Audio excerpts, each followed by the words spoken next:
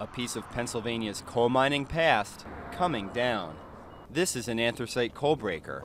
Nearly 300 of these massive processing plants once dominated a few counties where virtually all of the nation's anthracite was mined. The St. Nicholas breaker remains the only one left standing, for now. Just to see it being torn down is quite sad. You know, it's part of our heritage. A century ago, anthracite heated millions of homes and helped fuel the Industrial Revolution. Breakers were used to crush, wash, and sort up to 100 million tons of coal a year. It was difficult, dangerous work.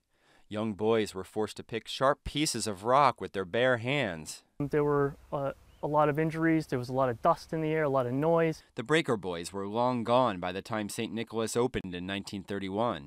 It was the largest, most advanced breaker in the world. There's a slope going down. Ed Tobin remembers what it was like. Don't let anybody kid you. You didn't make much money, but you worked. St. Nicholas closed in the early 60s.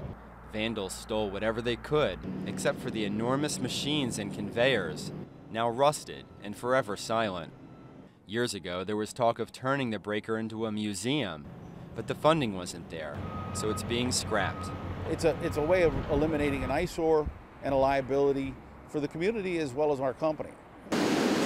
Modern anthracite plants process about 2 million tons a year for home heating, steel making, and other uses. But production overall is a fraction of what it was during the industry's heyday.